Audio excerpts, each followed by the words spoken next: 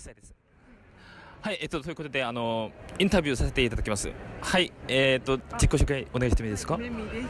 あ、レミさん？メ、まあ、ミムメです。あメミ。メミメミあ、はい、あの、メミさんと、あの、インタビュー、ちょっと、させていただきます。あの、今日のライブなんですけれども、あの、今日の感想、ちょっと、聞かせてくれますでしょうか？全体的に豪華ですごいあ、すごい楽、しかったです。ね。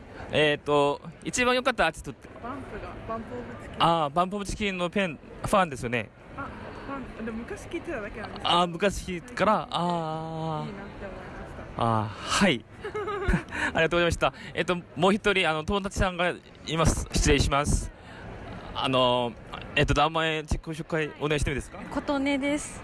琴音です。あ、はい。琴音さんとインタビューちょっとします。あの、もし来年、あの、カウントジャパンに、えっと、あの、韓国のアーティストも、もしできるとならば、呼びたいアーティストは誰ですか？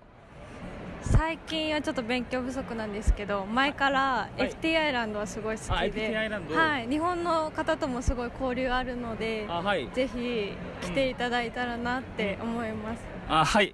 わかりました。ありがとうございます。